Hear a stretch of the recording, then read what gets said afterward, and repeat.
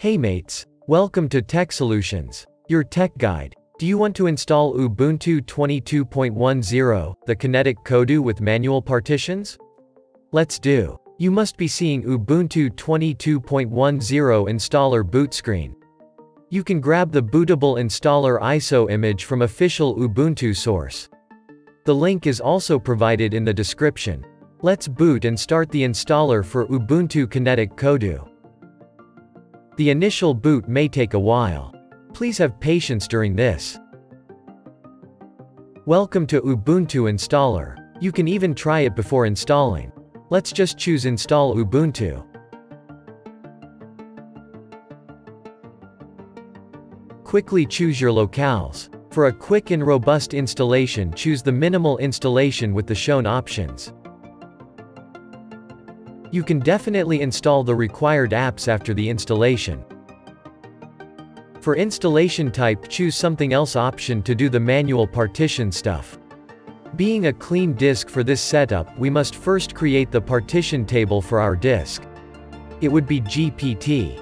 Create partitions as shown visually.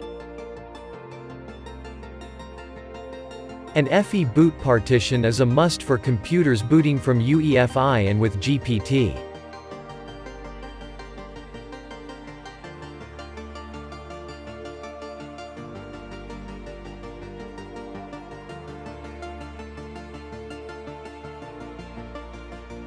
You can adjust partition size as per your own need. The recommended file system for root partition is ext4.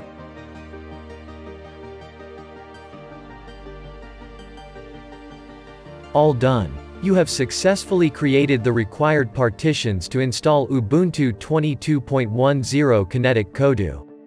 Let's install Ubuntu now.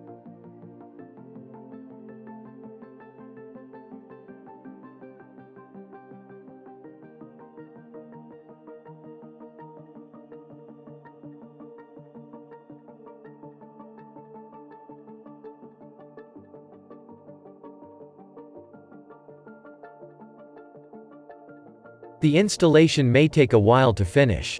Please have patience during this. This can take several minutes for you.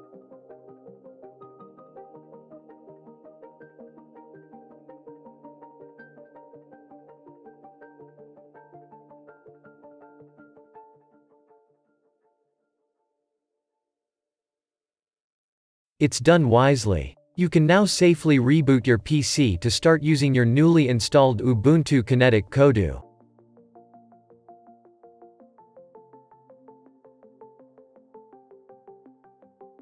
Make sure to remove your installer USB before rebooting. Log in with your credentials.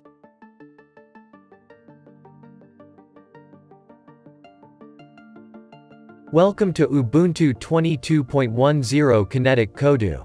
You have successfully installed it and booted it up. Anything to ask? Comment it. Thanks for watching. Good day.